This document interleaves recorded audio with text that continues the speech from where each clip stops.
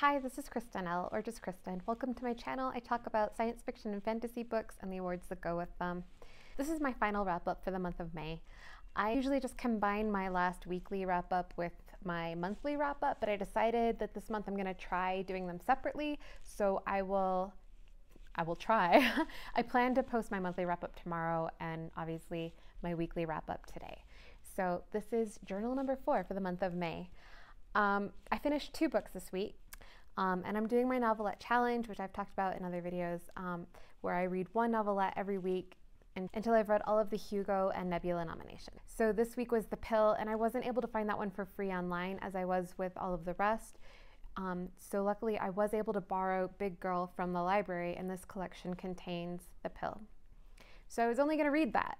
And then I loved it. I'll talk about it more at the end of this video. I, for now, I really, really loved the writing. I was curious after finishing that novelette to read some of the other things in the collection. So I went back to the beginning of the book and I read the first short story, which was super, super short.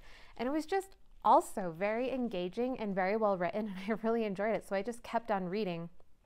And the entire collection is actually a pretty quick read. It is not a large collection. It all of it all together, it's a novelette, it's short stories, it's essays. Um, some of them are autobiographical.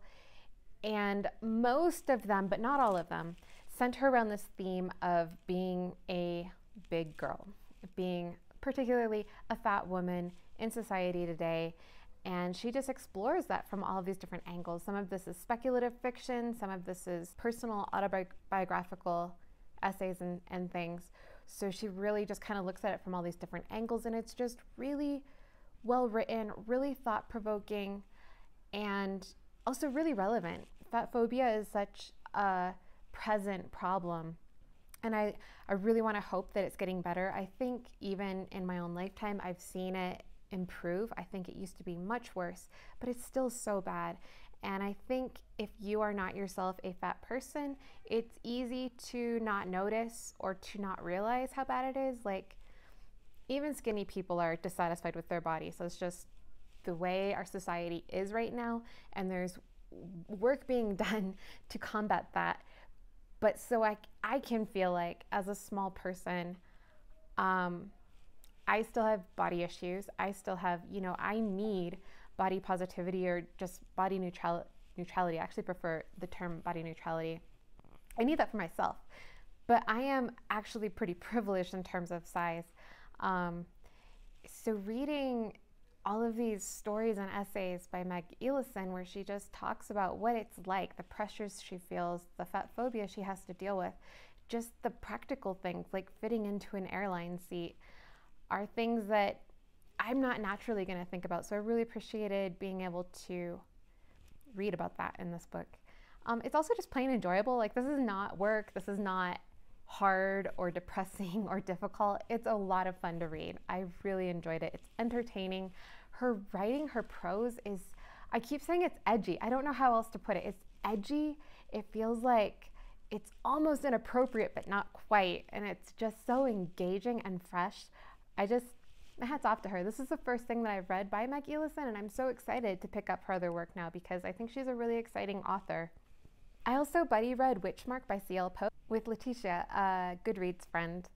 Um, we read it in her buddy read group, and I enjoyed it, but this was not anywhere near as good as The Midnight Bargain, which is why I was primarily interested in it because I recently read The Midnight Bargain, absolutely loved it, thought it was so immersive and engaging and well written. So I was just super excited to pick up everything else that C.L. Polk has written. So I picked up Witchmark with very high expectations, and it wasn't bad. It really wasn't bad, but it also wasn't great. It wasn't nearly as enjoyable. I don't even know that I can articulate why, but I just didn't feel as connected with the main character. I didn't feel as immersed in the world, although the world is very interesting. The main character is likable. The situation is interesting. This was C.L. Polk's debut novel, so I don't know if maybe this was just her, you know, writing her first book and maybe not knowing how to write in as an engaging way as she is now capable of writing, as she's demonstrated in the Midnight Bargain. So I'm really not sure if I want to pick up the second book in this trilogy. I don't know if the second book, her writing skills will improve and I'll be more engaged. But if it's the same experience as the first book, I'm not I'm not super excited to pick it up. So please, if you have read um, this trilogy, please let me know if you think that the second book improves upon the first. And the third one actually just came out not too long ago. If it's just a matter of CL Polk getting more writing experience and getting better at writing, it's going to be amazing because she wrote Midnight Bargain before this one. So I guess I should give it a chance. I will admit that I part of my interest in picking up the rest of this trilogy is based on the fact that the trilogy itself will be eligible for a Best Series Hugo nomination this year, like for next year. Um, also, I mean, the latest book that just came out will also be eligible for Best Novel. Um, I I want to say Witchmark got nominated for Nebula at least. It might have won it. Now I need to check yeah, it was just a nominee, but it did get a Nebula nominee. So this is a book that has the potential to make nomination list next year.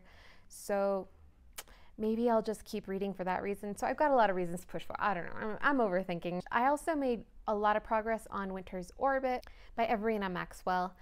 This is a recent release that involves an arranged marriage and what makes this book unique? It is it's sci- science fiction.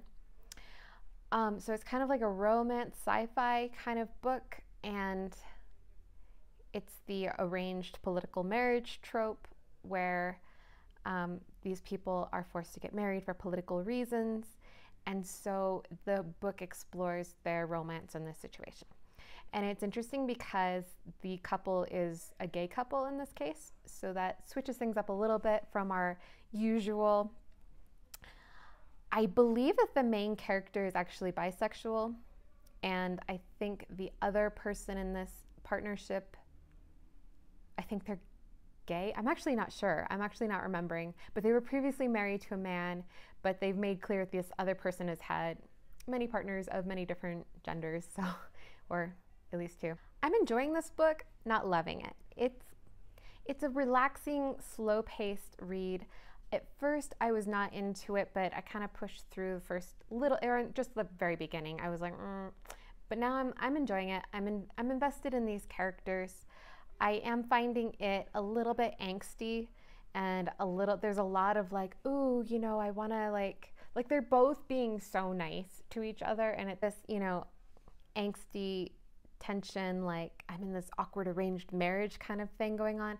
And then also the the background kind of story is that there's all of this political intrigue. So it's a little bit of romance a little political intrigue. They're on like a futuristic i don't know if it's colony or what or like it's so far in the future that we're past even talk of colonies it's just people live on this planet now Um, it's kind of an empire. It actually reminded me quite a bit of a memory called Empire and a Desolation Called Peace by Arkady Martine.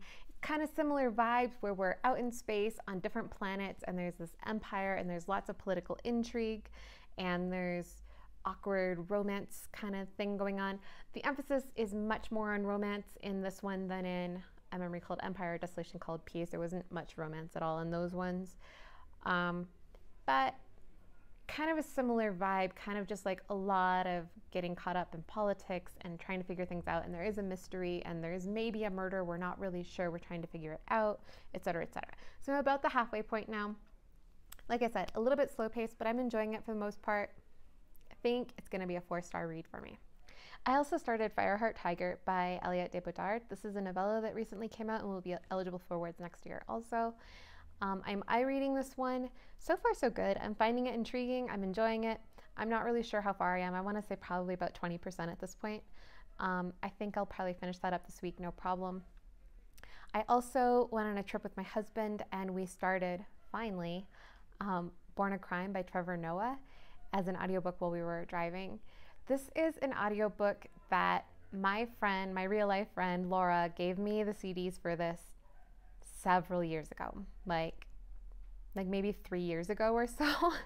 and she's like, "Here, this is so good. You have to listen to it and you can just have it just, you know, give it to somebody else when you're done cuz just everybody needs to read this book. It's so good." And we were you know, she didn't realize we were reading through the complete works of Octavia Butler in the car, and we still had a lot of those to read. so we ended up listening to all of those over the last few years. And now we can finally, now that we've done that, we can finally listen to Born a Crime. And we almost finished it. We're on the last CD. It's actually, it's actually CDs. Um, we're really enjoying it. This is a memoir about Trevor Noah, who grew up half black, half white in apartheid South America where, not South America, South Africa, where that was literally illegal, which I did not even really, I, I know vague things about apartheid and South Africa. I did not realize that there were actually laws forbidding um, romantic relationships between black and white people. And, you know, the fact that Trevor was the fruition of one of those relationships and his literal existence being a crime and how he dealt with that and how that shaped his life. And then it's just like a lot of stories. And of course, if you know Trevor Noah at all from The Daily Show, he's hilarious. He's very good at telling stories. He's amazing with accents and voices, and he reads his own book. So this is it's been such a treat. We really, really loved it. I cannot wait to finish it. We're almost done. We got so close. We didn't quite, our trip wasn't quite long enough to get through the whole thing but I highly, highly re- recommend this. I think this is easily going to be a five star for me. I also sort of picked at a lot of different books. I was kind of in focus this week. I'm not even going to bother just naming off all the things that I read tiny little bits of. If I read bigger chunks of them, I'll talk about them in future videos. But for now, just know I was really unfocused. I read a lot of weird little things here and there, and I really need to fi- pick a focus going forward. So let's talk about my novelette of the week, which was The Pill by Meg Elison. I loved this. It was so immersive. I had no trouble reading this like super, super fast.